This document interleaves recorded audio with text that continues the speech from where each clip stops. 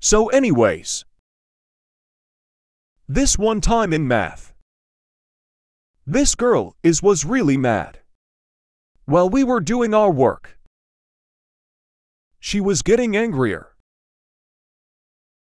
And then she broke the computer. Lol. Anyways like and sub. Bye.